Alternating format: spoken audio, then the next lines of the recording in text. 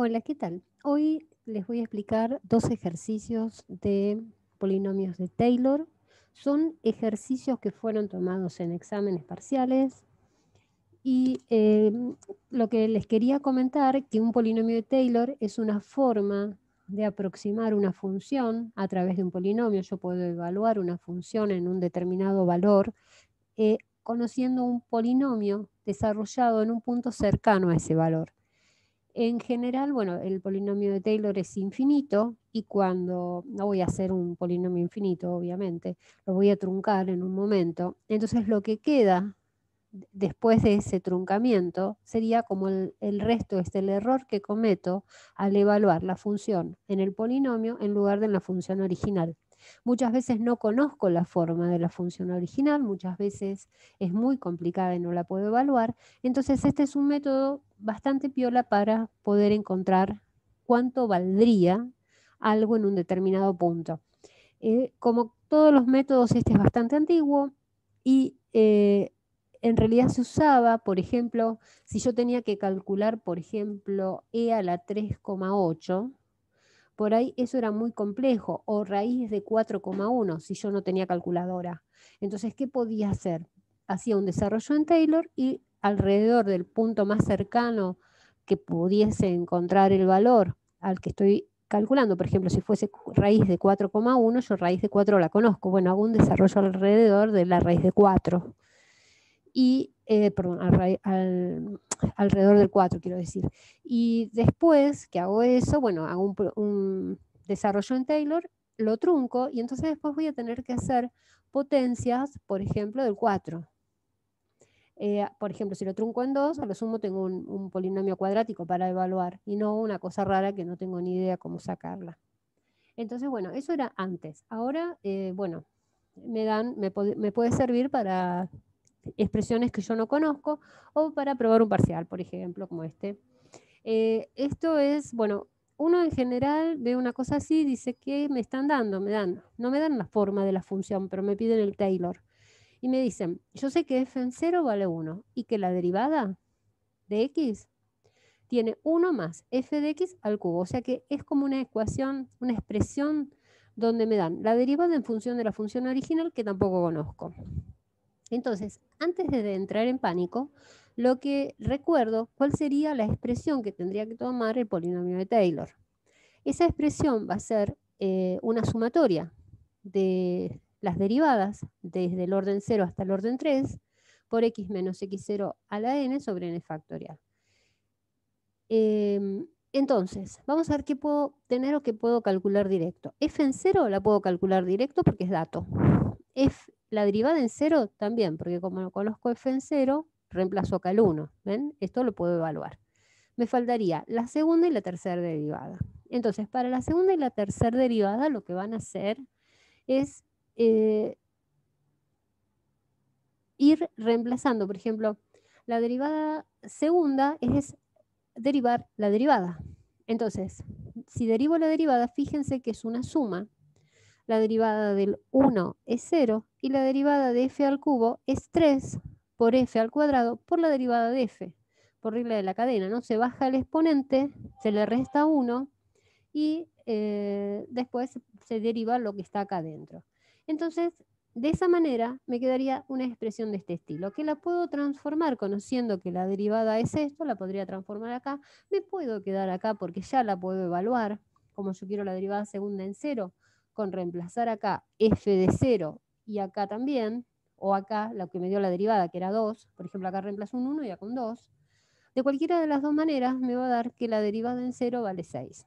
O sea que ya tengo en 0 la, función sin derivar en 0, la derivada en 0 y la derivada segunda en 0. Me falta la derivada tercera. Y para eso voy a sacar la derivada de la derivada segunda. Eso va a ser la derivada tercera. Entonces, fíjense que eh, acá lo que hice fue reemplazar f' por su expresión que me daban en el enunciado, hice propiedad distributiva para dejarla como potencias de la f. Entonces, cuando derivo, baja el exponente por f de x por la derivada. Baja el exponente por esto a la cuarta por la derivada. Bueno, y me queda algo así. Entonces, eh, como estas cosas las conozco, reemplazo f en 0, que valía 1, f' en 0, que valía 2, ven, lo reemplazo acá también, y con eso llego a este número t. Entonces, ya tengo la, la, función en 0, en 1, en 2, la derivada tercera. Y lo que voy a hacer es reemplazarlo en esta formulita, que es el desarrollo en Taylor, o en Maclaurin porque es en 0, de la función polinómica. Entonces, fíjense que acá f, de f en 0 valía 1, sobre 0 factorial que vale 1. f' en 0 por x sobre 1 factorial que es 1. O sea, esto era un 2. La, derivada segunda, que era un 6, sobre 2 factorial. Y eh, después la derivada tercera por x al cubo sobre 3 factorial. Bueno, eh, a ver si acá no me equivoqué. F segunda, acá tendría que ser un 6, ¿no? A ver. Creo que sí. F segunda, bueno, hagan la cuenta, es un numerito nada más. Eh, bueno, acá, vamos a ver. Acá hay otro ejercicio de polinomio de Taylor. Eh, lo que me piden en este ejercicio es un polinomio de Taylor de grado 2. Y este, eh, digamos, si vamos a entrar en pánico, este es peor que el otro. ¿Por qué? Porque tengo una g que está en función de la f, la f no la conozco, pero también me la dan con una expresión bastante fea. Entonces, lo que hay que hacer acá en este tipo de casos es, ¿qué me están pidiendo? Me están pidiendo el polinomio de la g. El polinomio de la g es, el polinomio va a ser g en 0, la derivada en 0, la derivada segunda en 0. ¿no? O sea, tengo que encontrar estos numeritos. Entonces, si con la información que me dan, como me dan f en 0, yo puedo tener g en 0, ¿Por qué? ¿Por qué lo reemplazo? Fíjense, acá está. Hago 4 por f en 0, esto es dato, más logaritmo de f en 0, que también es dato. Logaritmo de f en 0 vale 1, logaritmo de 1 es 0, esto se va, me queda 4 por 1, 4. Ya tengo este valor, ya lo tengo, ya sé que vale 4. Ahora tengo que hacer la derivada. Entonces voy a la función que me dan y la derivo como si conociese quién es la f.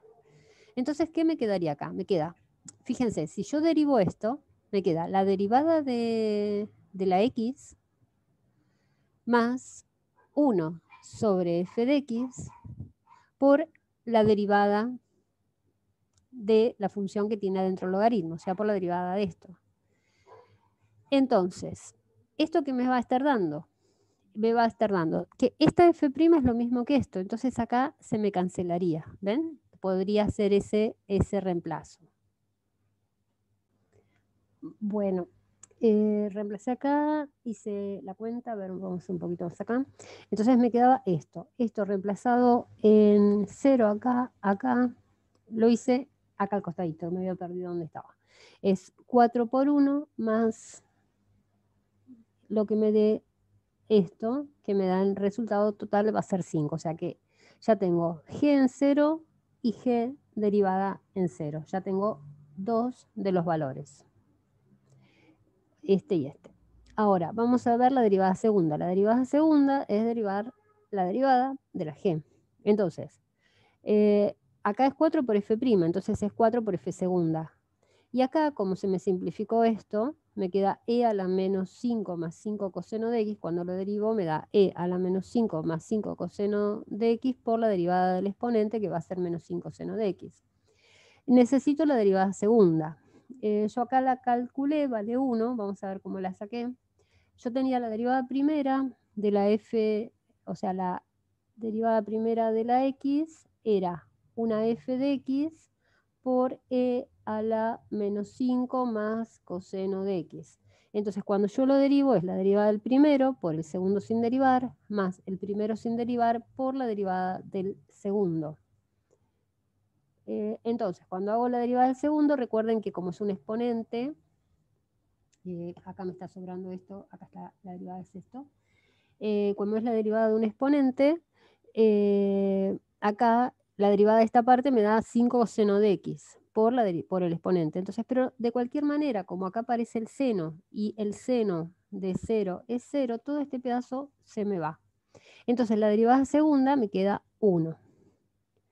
Bueno, eh, entonces, reemplazando estos valores en cada uno de los términos del polinomio, o sea, ya sé que g de 0 es 4, g' de 0 es 5 y g segunda de 0 es 4, lo reemplazo en el polinomio de Taylor. O sea, 4 sobre 0 factorial, 5 sobre 1 factorial por x, 4 sobre 2 factorial por x cuadrado. Y este sería el polinomio de Taylor. Acá lo tienen ordenado. Este es el polinomio de Taylor de grado 2 de esa función extraña y rara que nos daban por ahí.